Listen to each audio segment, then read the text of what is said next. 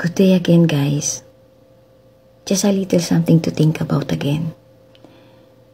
Alam nyo guys, may nakita ako dito dati. Matagal na matagal na yon Years ago pa. Ah, may isang mayamang-mayamang namatay. Tapos, inutos niya dun sa mga pinakamalalapit niyang katiwala kasi mayaman siya. Sabi niya, gusto daw niya kapag ililibing niya siya, butasin yung kabaong niya. Tapos, ilabas niya yung dalawang kamay niya. Lagyan ng butas yung kanyang paglalagyan yung kabaong niya. Kasi may meaning pala yun. May meaning pala yung kaya niya pinapabutasan yung kanyang kabaong para nakalabas yung kanyang mga kamay.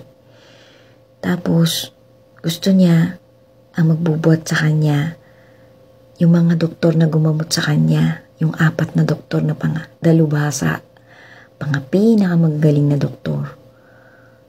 Tapos, binilin din niya na ang lahat ng kanyang mga kayamanan ay ilabas sa kanyang palasyo.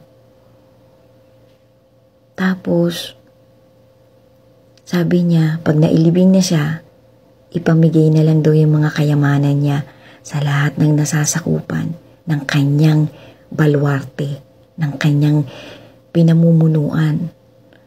Kasi may mga meaning pala yun guys.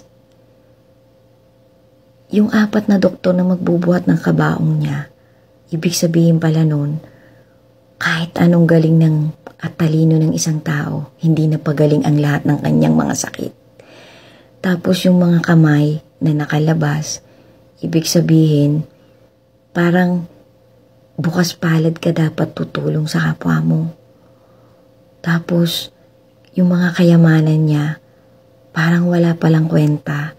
Kaya kahit anong yaman niya, hindi niya rin nabitbit ang kahit isang maliit na maliit na ginto sa kanyang pupuntahan. Kasi sabi niya, hubad nga namang lumabas sa mundo, hubad ka ring lalabas, hubad kang pumasok, lubas, hubad ka ring lalabas. Tapos yung mga kayamanan niya, inutos niyang ipamigay na lang. Kasi nga, siguro naisip niya rin na nung nabubuhay siya, marami siyang hindi nabigyan ng kanyang kayamanan. Sana guys, may napulot tayong insights habang may panahon pa tayo. God bless to everyone.